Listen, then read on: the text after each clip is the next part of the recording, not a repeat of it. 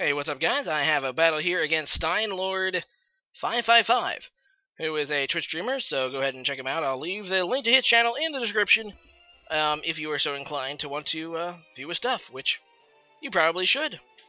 Just throwing it out there. Alright, so let's go ahead and get started uh, without further delay. Uh, yeah, this is a standard match.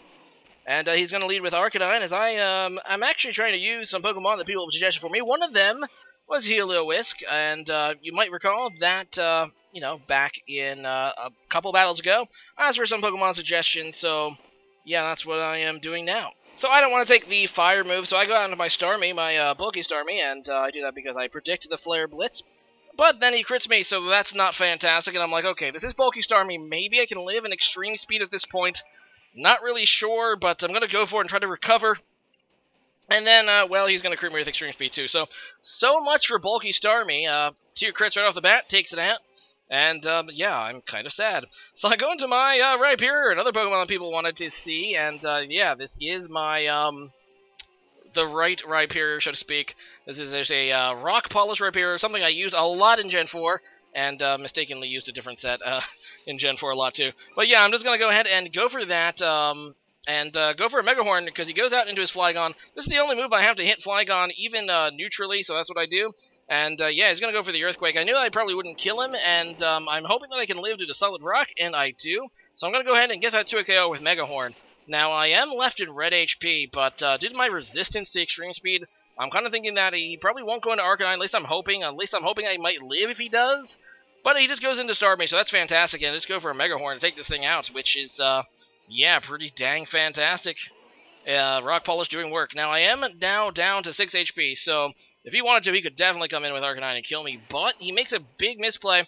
I guess um, kind of derping in the process. He uh, actually said right afterwards, oops.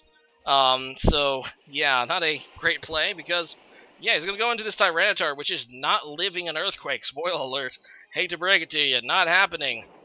And, uh, yeah, it's dead, and I will lose my Rhyperior here, but he really did not need to lose Tyranitar here, because he did have that Arcanine, which could have uh, killed him with Extreme Speed, definitely, so kind of a misplay there, but uh, what can you do? Definitely a misplay, but let's see how the rest of the battle turns out. I uh, go into my Skarmory again, uh, well, actually, I think for the first time, as he uh, goes into Arc Arcanine, which is obviously not the matchup I wanted. So I'm going to go out into Dragonite, expect another Flare Blitz. I do have Multi-Scale, not to mention the Resistance, so I know I'm not really going to be taking that much to it. And um, after the uh, residual, or the uh, extra damage, this guy's going to tank this Arcanine.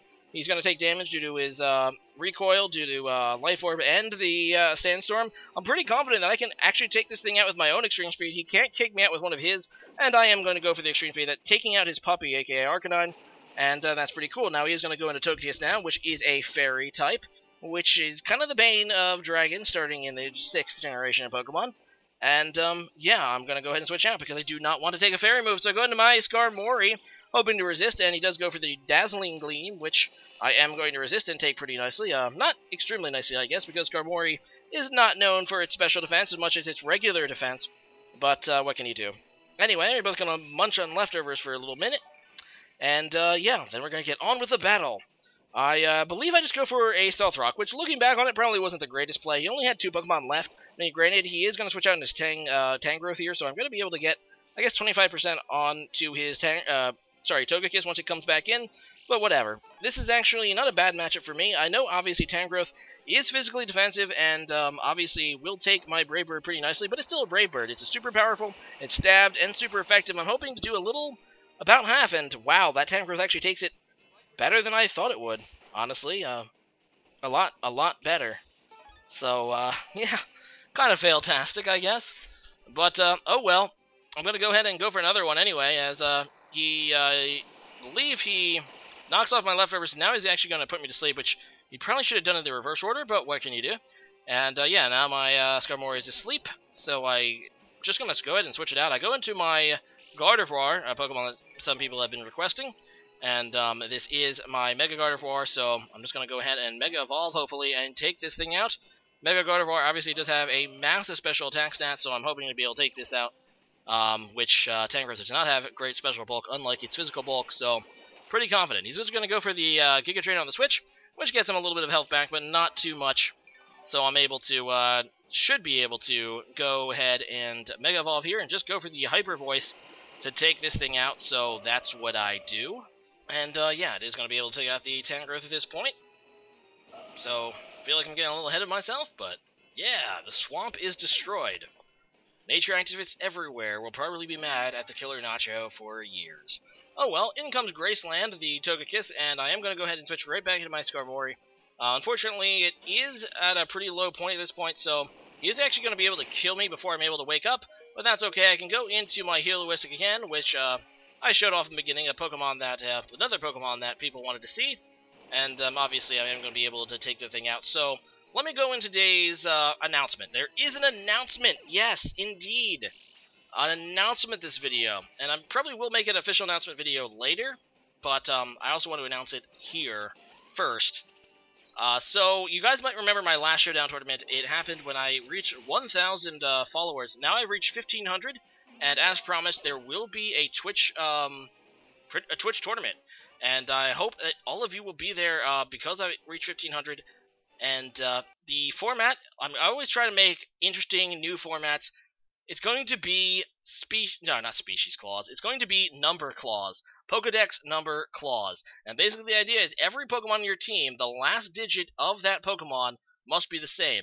Now, to make things easier, a lot of my fans, or a few of my fans on Twitch, made a Google Doc, which I will link in the description, um, for this format so you can quickly see what Pokemon are what number. So basically, for example, um, let's say you should pick six, all your Pokemon have to have six their last digit in the Pokedex.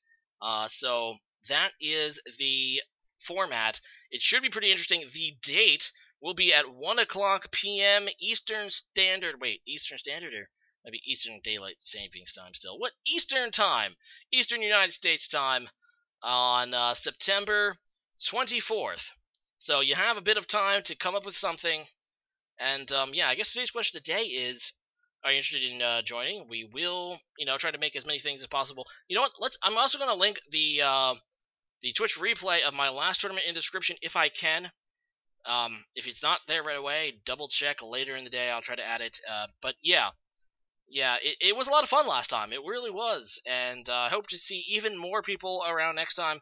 I guess today's question of the day is uh, if you want to glance over at the list people made which number jumps out as you as to be the best? What is the going to be the top tier number in the Pokebot Pokedex number tournament? Yeah, I need to come up with a better name for that. But uh, yeah, that you know, this is the official announcement, I guess. If you're interested in uh, playing, all you need to do is make a team on Pokemon Showdown. It's free to use and all that. You don't need uh, even a Pokemon game. Make a team, make sure it follows the rules. Uh, keep in mind that standard Smogon clauses will apply, so no Ubers, and uh, we're going to be playing by all standard Smogon clauses, aside from the fact that uh, the additional restriction that all your Pokemon need to have the same last digit Pokedex number. So uh, yeah, if anyone needs that explained better, just let me know, and I'll I'll try to explain it better. But uh, yeah, this is already ran uh, way over after the battle. Don't worry, there will be an official announcement video at some point, probably soon. But uh, yeah, thanks for watching and take care. Later.